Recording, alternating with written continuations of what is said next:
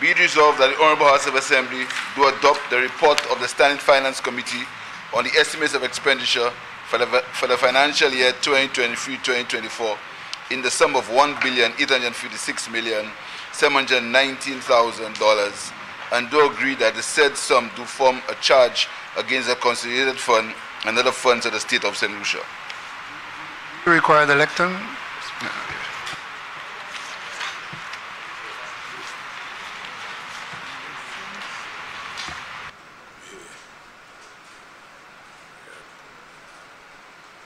That fella is new. Yeah, but he's, he's new. Yeah. uh, I'm not saying he's just the other man.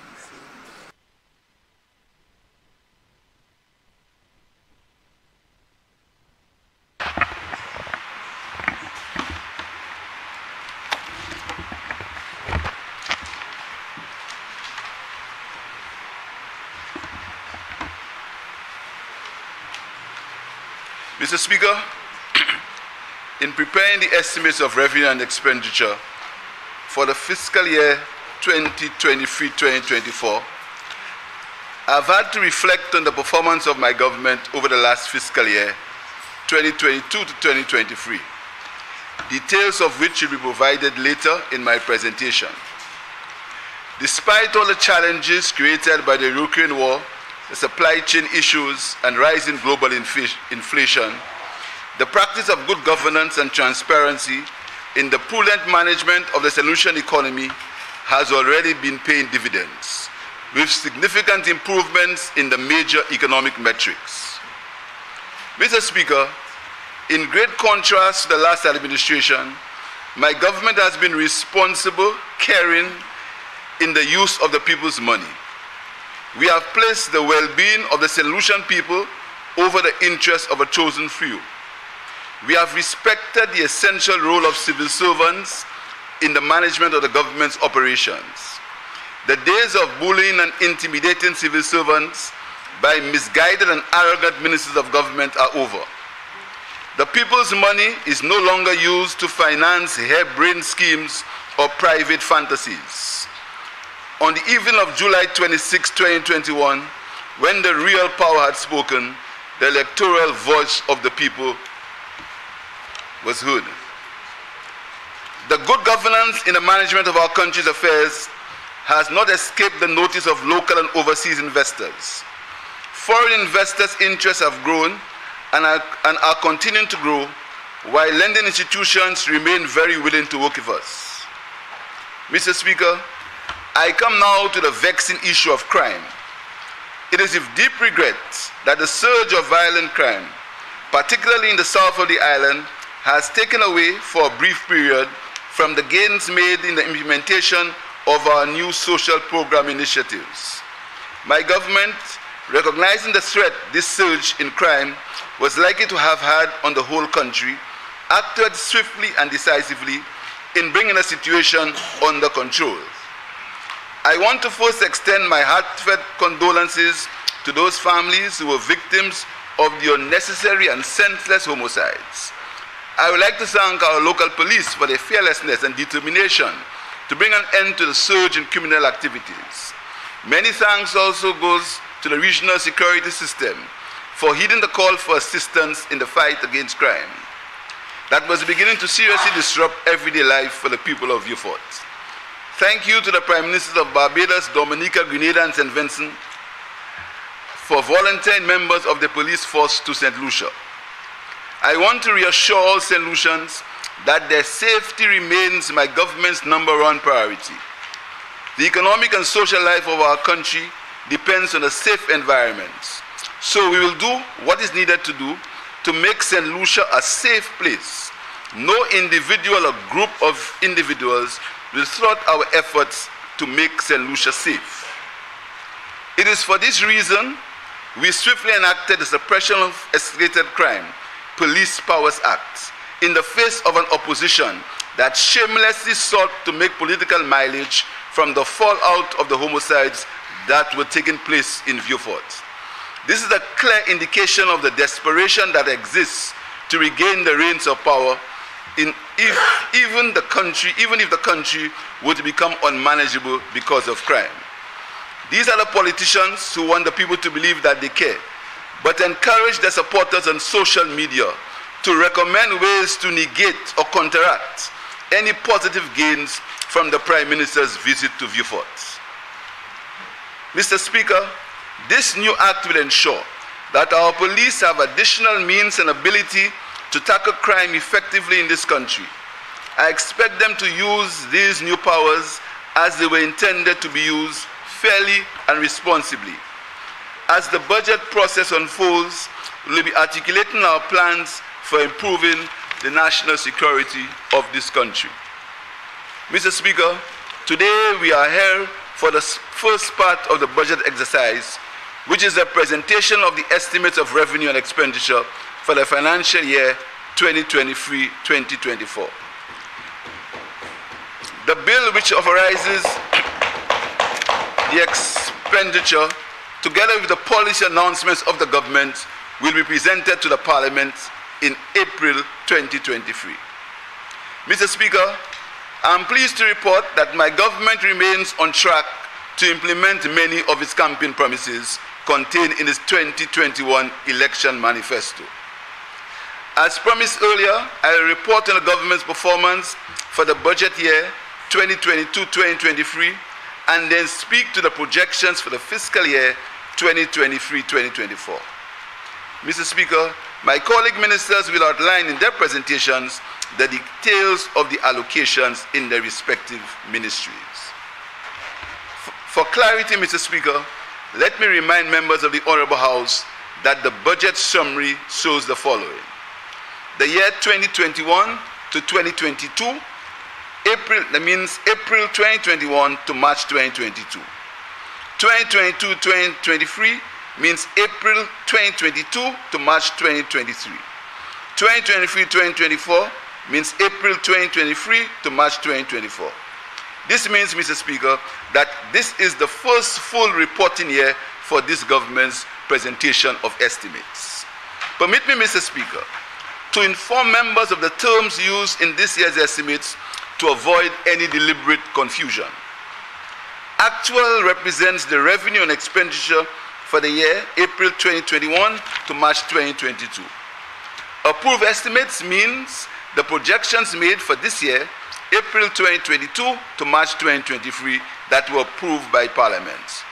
Projected outrun means the likely expenditure for the year April 22 to March 2023. These figures are up to the middle of March 2023 and may be revised. Budget estimates means the projections for the year April 2023 to March 2024. Mr. Speaker, the government's performance improved in the fiscal year 2022 to 2023, despite the many challenges facing our country, the region, and the world. Some of these challenges, as mentioned earlier, include inflation and global supply chain problems, resulting in similar in supply shortages and increasing costs of doing business. This remains true for the private sector as it is for the government. In addition, there were a few financing challenges that government experienced due to delays in funding approval for some projects and disbursements from funding agencies. This, Mr. Speaker, led to a general decline in government expenditure, in particular in capital projects. Nevertheless, Mr. Speaker, government operations remained robust while still managed, managing to meet financial obligations through the effective and efficient managing of its cash resources. Mr. Speaker, my government continues to employ effective cash management strategies and is responsibly working towards the reduction of the stock of payables. Mr. Speaker, upon coming into office in July 2021, my government inherited payables that is money due to local suppliers of goods and services to the government in excess of $200 million. Today, this figure is a little over $100 million, a signal of our commitment to be responsible and trustworthy. This, despite these many challenges, Mr. Speaker, government continues to make strides in meeting the needs of the population by putting the people first. Mr. Speaker, we remain committed to delivering our promises to the people of St. Lucia. Mr. Speaker, for the 2022-2023 fiscal year, I am pleased to report that the government was able to stay within its budget ceiling and the economy performed much better than anticipated. Mr. Speaker, preliminary data up to February 2023 in, indicates that the government will be spending approximately 1.571 billion for the fiscal year 2022 to 2023, which is higher than the actual in 2021-2022 by 15% or an increase of 174.8 million, but less than the approved estimates of 1.842 billion. Mr. Speaker, government's fiscal operations are expected to improve and a narrowing, a narrowing of the fiscal deficit is anticipated from a target of 394.6 million or 5.2% of GDP in the approved estimates to an estimated 150.2 million or 2% of GDP by year ended 2023. In addition, a primary surplus of 29.6 million is anticipated in contrast to a primary deficit of 220.1 million.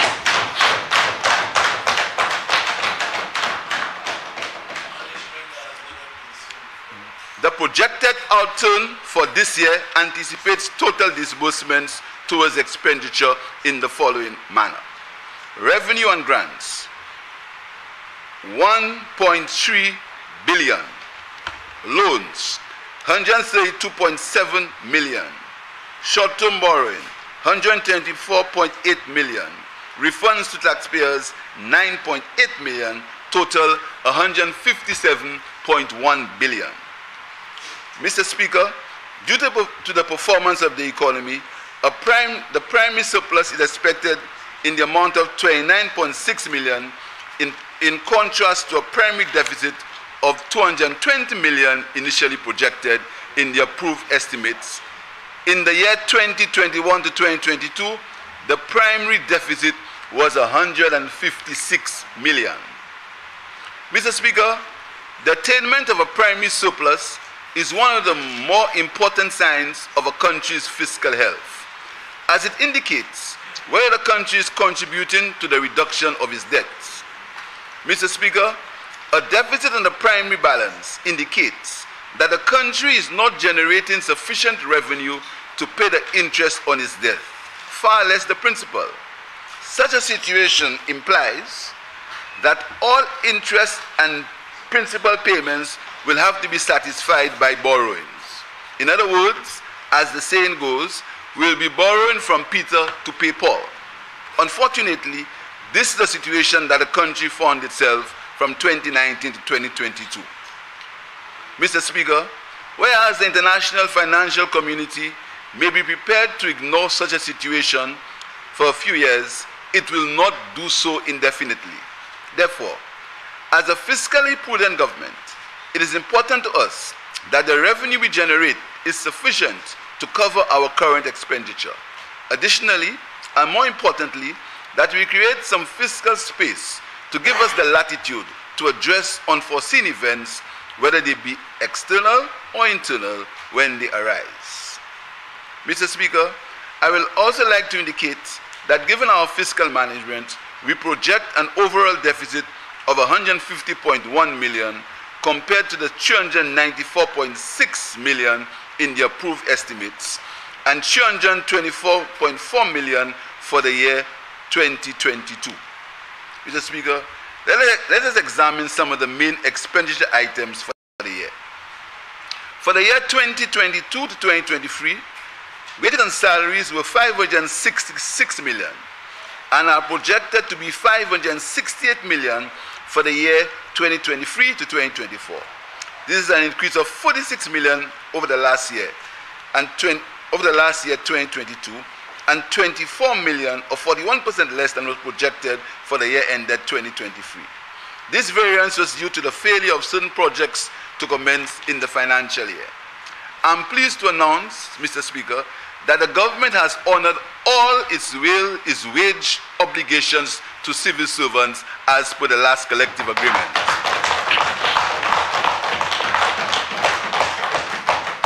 All pay increases and back pay were, hon- were honored to civil servants and public servants in this country. The government's unflinching commitment to the workers of St. Lucia remains strong.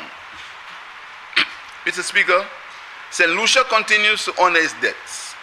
Total spending on debt servicing will register an increase of approximately 2 million to reach a total of 287.1 million by the end of this financial year in comparison to 285.1 million in approved estimates and 288 million in 2022.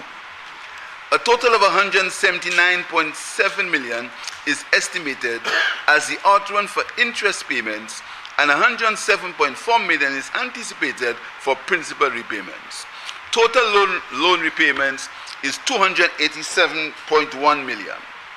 During the past few months, there has been a significant increase in international interest rates due to the actions taken by the United States Reserve Bank and other central banks in the attempt to quell inflation, which ranged between, from 1% in January, 20, January 2022 to over 5% by December 2022. Mr. Speaker, it is expected that interest rates will continue to rise. Our interest expense, Mr. Speaker, for the last three years are as follows 2021 to 2022, interest expense 167.7 million. 2022 to 2023, interest expense 179.7 million. 2023 to 2024 is projected interest expense 218.9 million. Mr. Speaker, members may be interested in how the collapse of the Silicon Valley Bank and other international bank failures may affect our situation in St. Lucia and the Eastern Caribbean Currency Authority. Mr. Speaker, the central bank advises that the, that the Eastern Caribbean Central Bank foreign currency reserves are invested in the highest quality instruments and there was no direct exposure to Silicon Valley Bank. But diligent monitoring is warranted as the situation is both fluid and dynamic.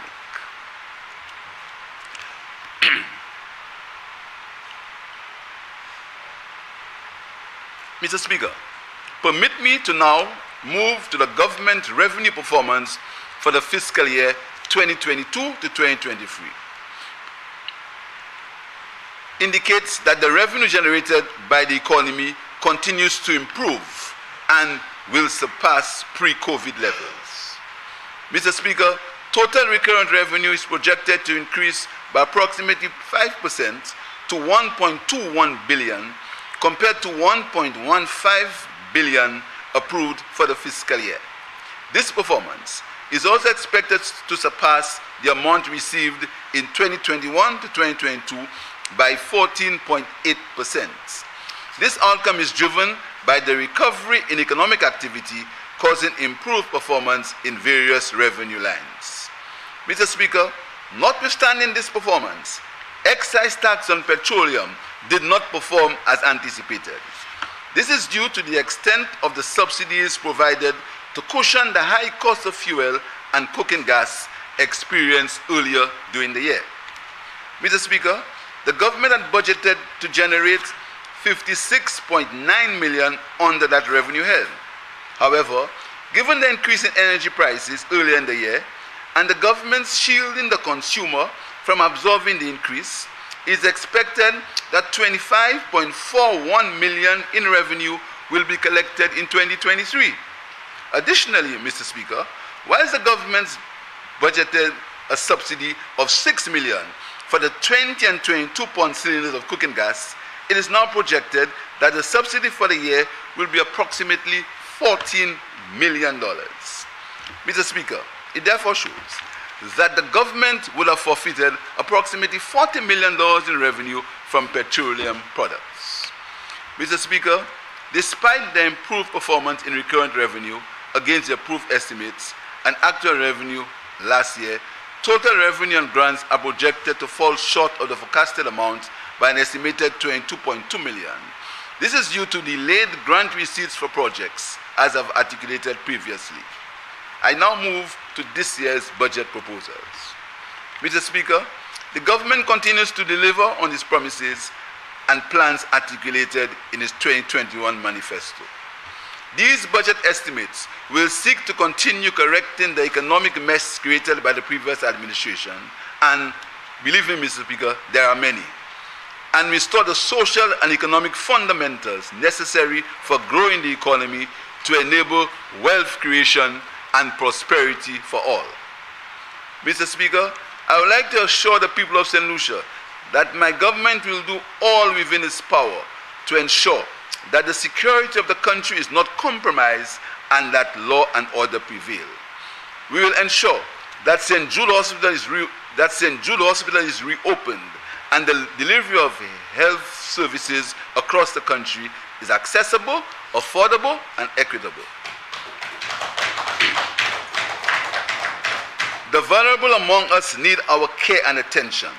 Mr. Speaker, the COVID 19 pandemic and its effects on the economic and social landscape of our country has left many persons poorer and, in some cases, destitute. We will increase the allocation towards poverty reduction. My government intends to provide relief to those persons for the continuation of our many social programs and by collaborating with social partners committed to providing relief to these persons. Mr. Speaker, in support of our plans for economic expansion, we will create the enabling environment for businesses to expand and to be profitable. In the upcoming financial year, my government will be rolling out a number of programs and initiatives to support SMEs, small and medium sized enterprises, empower the youth for the Youth Economy Agency, ensure the benefits of tourism are island wide for the Community Tourism Project, provide full security for the blue economy and diversification of the agricultural sector. In this regard, to support this agenda, I wish to propose the following for the 2023-2024 budget. Mr. Speaker, these projections are realistic based on the environment under which we will be called to operate. We propose to spend 1.856 billion. Out of this amount, 1.442 billion is proposed to is proposed to be spent on recurrent expenditure. 302.14 million on capital expenditure, 218.93 uh, million on interest payments, and 112.25 million on, on principal payments or amortization. Revenue is expected to be 1.558 billion, comprised of tax revenue 1.26 billion, non-tax revenue 153 million, capital revenue 7.6 million, grants 147.04 million, and refunds 10 million. Our statisticians are predicting a further increase in our GDP for the, for the calendar year as our gross domestic product is projected at approximately 6 billion as compared to 5.5 billion in the current financial year. In 2021-2022, the GDP was 4.91 billion. In this upcoming budget year, we intend to continue to reduce our liabilities, our payables, and obligations to third parties. Mr. Speaker, I cannot overemphasize my government's commitment to fiscal prudence as we intend to continue to maintain the important prudent macroeconomic indicators. Therefore, in the upcoming budget, we are projecting a primary surplus of approximately 0.7% of GDP of 42.54 million as compared to the 29.5 million, an increase of 44% over this year. Total expenditure, excluding refunds and principal repayments, is estimated at 1.734 billion, while the total revenue and grants are projected at 1.558 billion.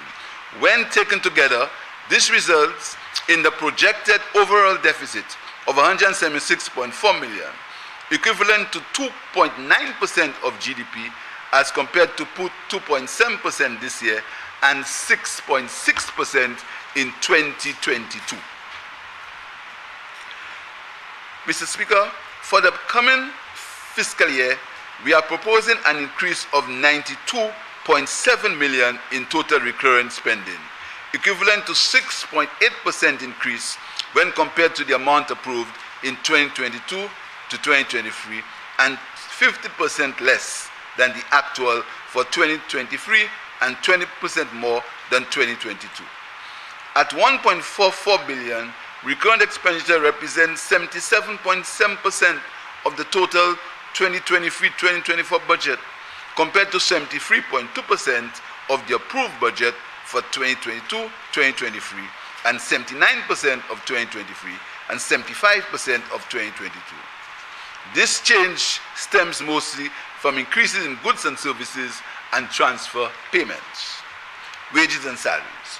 Mr. Speaker, the component wages and salaries represent the largest recurrent expenditure and is approximately 31% of the upcoming budget. For the 2023-2024 budget, a total of 568.6 million has been allocated for wages and salaries, of which a sum of 429 million has been programmed to cover personal emoluments to central government employees, and 39.6 million has been allocated to cover compensation and other benefits to project staff. A further sum of 11 points of 116.3 million has been allocated to retiring benefits. Mr. Speaker, debt service obligations are central to every budget as we continue to implement policies geared towards prudent debt management and reduction. Debt service payment allocations amount to 331.2 million for the fiscal year 2023-2024, an increase of 15.3% relative to the approved estimates for 2022-2023 as principal debt payments become due combined with increases in variable interest rates. A total of 145.5 million has been set aside to service domestic debt, while 161.3 million has been provided for foreign debt services. Of the amount of, of the amount, 31.2 million is allocated for debt servicing. The interest payment amounts to 218.9 million, and a sum of 102.3 million is provided for principal repayments. Principal, repayments are forecasted to increase relative to the projected outturn for 2022 to 2023. Of the allocation for principal repayments, 66 million is for externally, externally contracted debt, while the remainder, 46.3 million, being programmed to cover amortization of domestic debt. Mr. Speaker, transfer payments will increase by 12.6% over the approved 2022-2023 budget to amount to 239.1 million. This allocation also represents an increase of 17% over the outrun for 2022-2023. The increased allocation will also provide a subvention to the. Lucia Tourism Authority of 8 million to support the reopening of the Jazz and Arts Festival the Jazz and Arts Festival is being reintroduced. And we have committed and, and we have committed to supporting this festival, given its tremendous benefits to our people and the economy of St. Lucia. Mr. Speaker, many civil organizations and NGOs have been recommended and in some cases implementing several interventions aimed at creating social stability and citizen security. I'm proposing, Mr. Speaker, that while the government insists that these interventions must be non-partisan, I am recommending a, a, a sum of $100,000 to assist these NGO groups with transportation and out-of-pocket expenses. Mr. Speaker, these estimates also increase government's allocation to several non-government organizations involving charitable and in, in, in charitable and persons with disabilities organi organizations, including for the first time Cerebral Palsy Association and Farmers with Disabilities Organization. Mr. Speaker, The subvention to the National Trust continues in this financial year. Mr. Speaker, several social interventions and access to the, to the distress fund have been allocated a total of 78.1 million, an increase, an, in, an increase of 16.1 million. Mr. Speaker, I now turn my attention to the expense item of goods and services. My government proposes an increase of 40.6%, 117.04 million relative to the projected outturn for 2022-2023. The main driver of this increase is the reallocation of personal emoluments from the respiratory hospital to the, to the consultancy votes to be transferred to the Owen King EU Hospital to facilitate payments of salaries to staff that will transition there in the upcoming fiscal year. This represents 21.7 million. Other contributors to this increase include project support for capital projects, commencing in the upcoming budget year, and terminal disbursements as large projects such as the Disaster Vulnerability Reduction Project, DVRP, and the OECS Regional Tourism Project, ORTCP, comes to an end.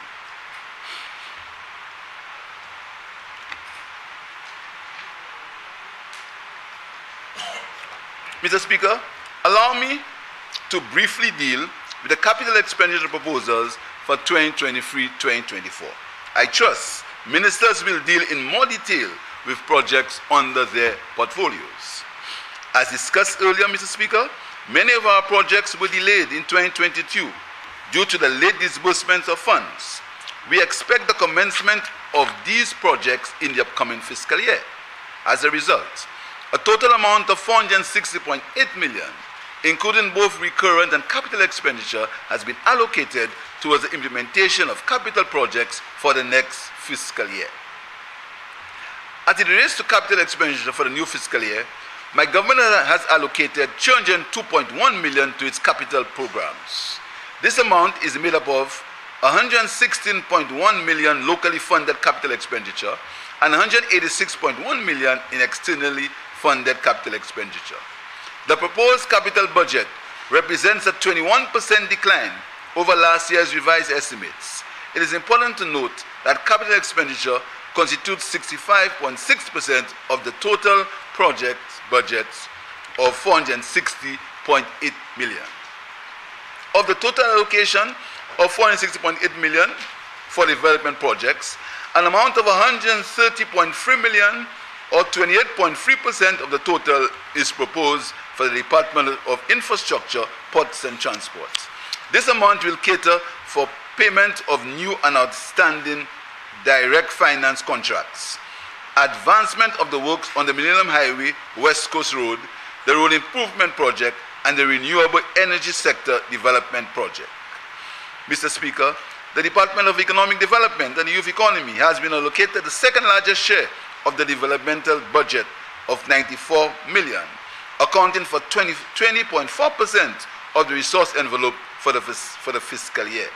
The land share of the development program for the department goes to primarily four major projects, namely the Disaster Vulnerability Reduction Project, 9.8 million, the Constituency Development Project, 21.7 million, the St. Jude Hospital Reconstruction Project, 32.7 million, and for implementation of the Economic Recovery and Youth Empowerment Project, 5.3 million.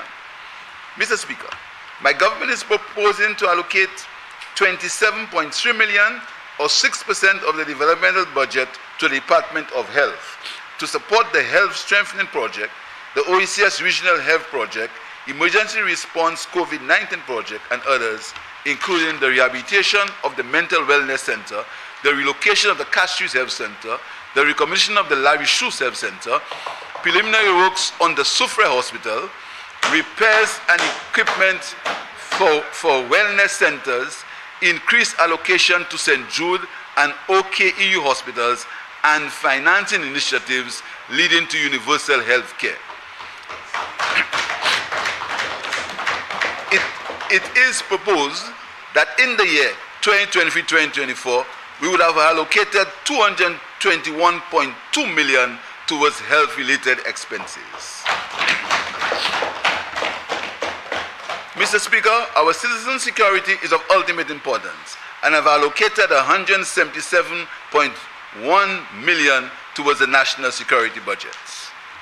Mr. Speaker, we continue to work with our international partners such as the European Investment Bank, the World Bank, the Caribbean Development Bank, and International Development Bank to support initiatives to strengthen the country's resilience since the COVID-19 pandemic as a number of our projects continue to be dedicated to these efforts. Mr. Speaker, the Department of Agriculture has been allocated a sum of 21.6 million, or 4% of the, of the developmental budget to facilitate the implementation of new and ongoing projects such as repairs to the Choiseul fishing ports, expansion of food crop production, cocoa sector enhancement, enhancing energy efficiency for agro-processing with solar power, and also to undertake various initiatives aimed at protecting food security. Mr. Speaker, a sum of 22.1 million or 4.8% of the development budget is also being proposed on behalf of the Department of Education for the upcoming year. Of that total amount allocated to that department, 41% will cover the cost of activities under the EQUIP project, and a sum of $3.2 million has been allocated for the rehabilitation of schools. Mr. Speaker, in the policy statement to be delivered at the end of April, I, would, I, will, I will outline further details on initiatives on the capital program, some of which will be financed by alternative means. Mr. Speaker, I now turn to revenue projections for 2023 to 2024. Mr. Speaker, these estimates have been prepared with the utmost care and reality, taking into consideration the resources that will be required to finance this budget. An effort was taken to include projects where financing is either finalized or approved by funding agencies. I want to repeat, Mr. Speaker. An effort was taken to, inc to include projects where financing is either finalized or approved by funding agencies. The draft estimates are projecting total revenue and grants in the sum of 1.558 billion to fund the expenditure programs for the new fiscal year. Total revenue and grants are forecast to increase by 254.2 million or 19.5% above the, the preliminary outrun for the fiscal year 2022 to 2023. The forecast comprises 1.41 billion in current revenue, 7.6 million in capital revenue, and 147 million in grants. Grants receipts are expected to contribute an additional 46 million compared to 2022-2023 outrun of 22 million. This increase is due to the Millennium Highway West Coast Road, which is expected to progress this year, and the receipt of grant funding from the government of Taiwan. The total projected recurrent revenue for 2023-2024 comprises tax revenue of 1.26 billion, or 89%, and 153 million in non-tax revenue. Tax revenue is forecasted to increase by 7.3% as compared to 2022-2023, while non-tax revenue is expected to increase by 14.1% compared to 2021-2022. Mr. Speaker, the recovery in economic activity, improved tax compliance, and returns from the ongoing tax amnesty are among the reasons for the improved performance. Higher anticipated CIP inflows of 91 million account for the increase of non-tax revenue. Mr. Speaker, allow me to speak on the recurred revenue in this budget.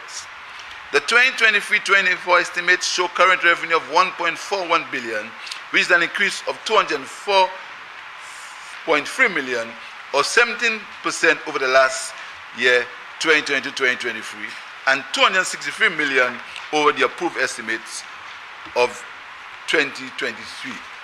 Mr. Speaker, based on the project expansion, based on the projected expansion in, in economic activity, this target is achievable.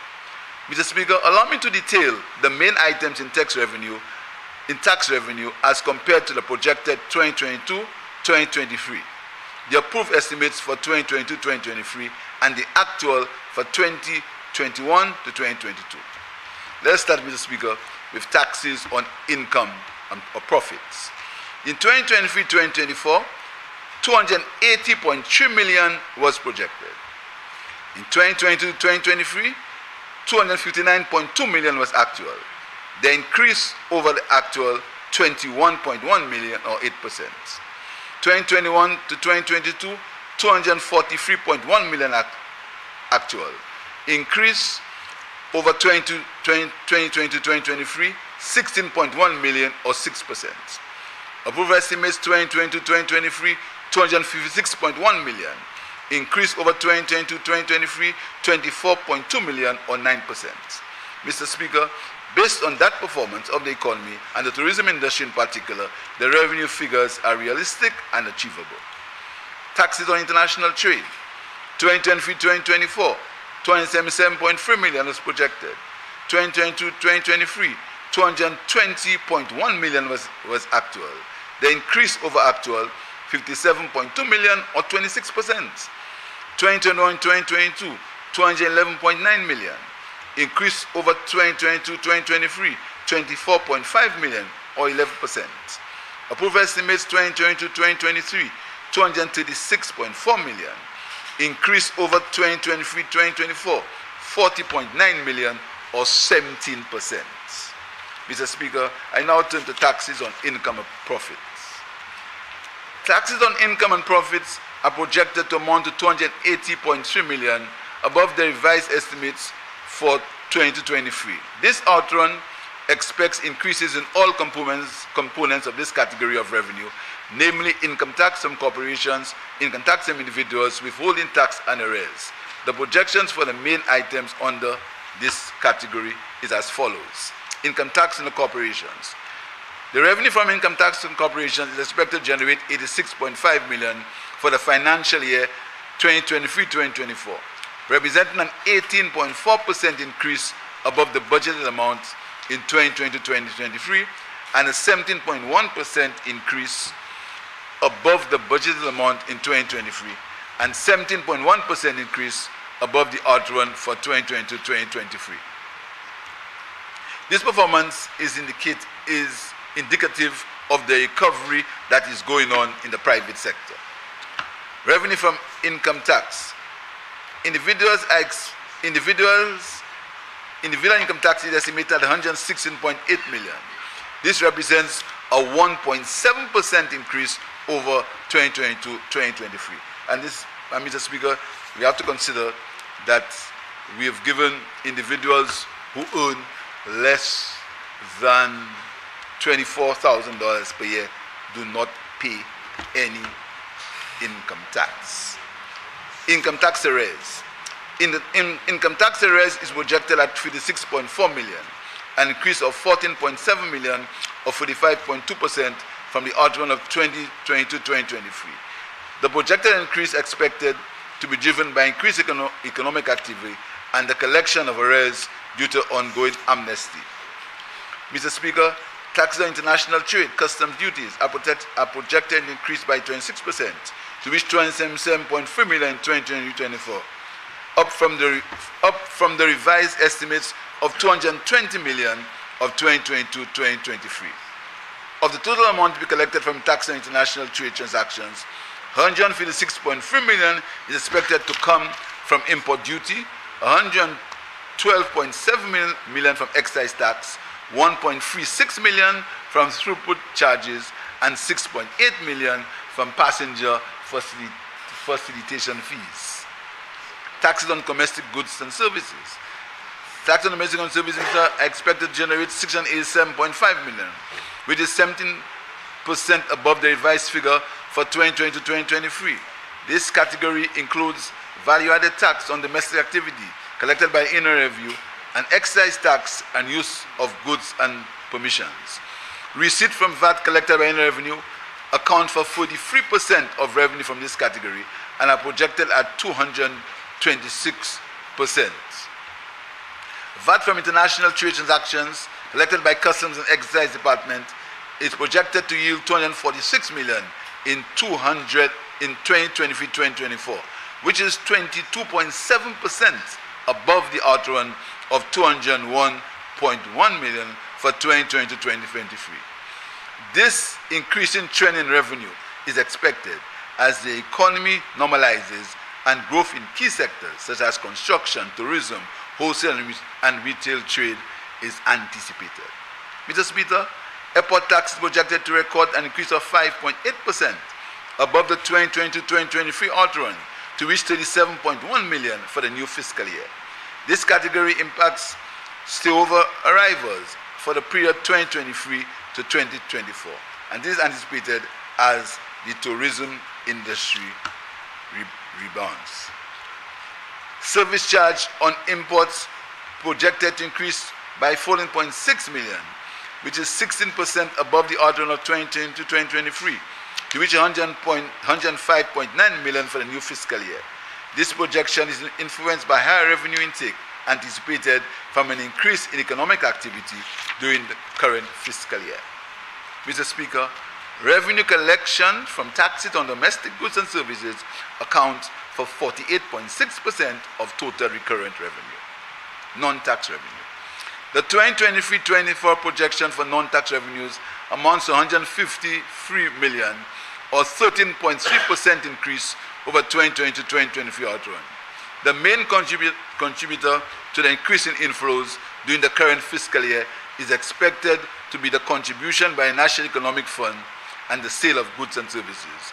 The following are the major components of non-tax revenues and the expected performance in 2023-2024. Mr. Speaker, the CIP program is expected to deposit an anticipated 91.6 million to the National Economic Fund as is required by law.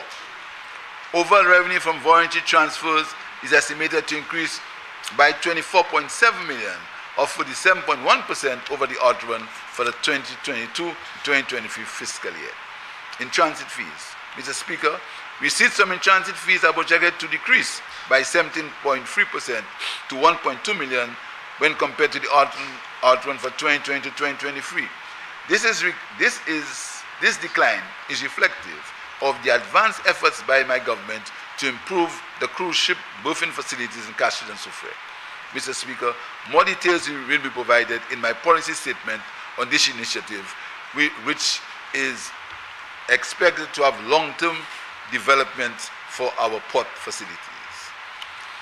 Revenue collection from sale of goods and services are projected to record a sum of 49.4 million, reflecting a decrease of 9.7 million or 16.4% below the revised estimates for the previous financial year. The, the major revenue lines contributing to the decrease are revenue from drugs and vaccines due to the low incidence of COVID infections, the decline in motor vehicle licenses, increases in this line are observed every triennium, the last one being 2022-2023, decline in passport fees, decline in contribution to the medical board, laboratory fees of 81.3 million, including motor vehicle driver's licenses and the sale of drugs and vaccines. Grant revenue. Grant revenue, grant revenue receipts are estimated at 147 million, reflecting a 46 million dollar increase over the projected outrun for 2020-2020 fiscal year. This amount represents 48% of the total capital expenditure program for the new fiscal year to be funded by the continuation of projects. Some of the major contributors to the grant inflows are the Japanese International Cooperation Agency, JICA, the Taiwanese government, the UK government, the Infrastructural Partnership Fund, UK the European Development Fund, EDF, the Caribbean Development Bank, CDB, and the United Nations Environmental Program, UNEP. Mr. Speaker, we believe that these figures are attainable. Another notable increase in transfers, as I said before, is the projected increase in CIP revenue. I'm sure at the right time, the minister responsible will give details. Mr. Speaker, the 2023 budget is realistic and aims at building on the proven gains of the economy this year. The budget projects an overall deficit of 176.4 million or 2.9% of GDP as compared to the outrun of 2.7% for the year 2022 to 2023. Mr. Speaker, when compared to the previous years, and considering the primary surplus for this year and last year, the deficit is reasonable. the Speaker, the actual deficit for 2020 2020 for, for 2022 was 6.6% and 7.2% was projected for that year. Mr. Speaker, despite the performance, we aim at a balanced budget at the earliest. This is our aim. Out of an abundance of caution, this is the plan which we hope to achieve, and I hope I'm not misquoted. Mr. Speaker, consistent with government policy, our borrowing to finance the deficit will be to, will be to secure external borrowing on concessionary terms instead of short-term in instruments. I have spoken on the interest rate issue, Mr. Speaker, earlier in my presentation. Mr. Speaker, you will note that I said earlier our capital projects were delayed since our borrowing commitments were not all honored. I propose to finance the shortfall as follows. Loans on the Caribbean Development Bank, 46.2 million. Caribbean Development Bank policy-based loan, 594,000. The European Investment Bank, 3 million. The CARICOM Development Fund, 3.4 million. The Canadian Clean Energy and Forest Climate Facility Fund, 2.9 million. The National Development Agency, IDA, 74.5 million. The Republic of China on Taiwan, 134.9 million. IDA, Strategic Climate Fund, 903,000. Uh, Loans totaling 256 million 595,000. Bonds, T-bills and treasury bills 32 million 42 million. Net financing 288 million 656,000. 156. Mr. Speaker, the total budget will be financed as follows. Revenue grants 1.558 billion. Loans 256 billion. Short-term borrowing 32 billion. 1.846 billion. Refunds 10 billion. Total financing 1.856 billion. Mr. Speaker, I'd like to express my gratitude to all the ministries, departments, and agencies that have contributed to the successful completion of the budget process. Special thanks to the management and staff of the Ministry of Finance, Economic Development and Youth Economy, the Office of the Prime Minister, and the Office of the Budget. Mr. Speaker, I must mention the, the staff of the National Printing Corporation. Despite the difficult, their difficult working conditions, they ensured that estimates were printed in a timely manner.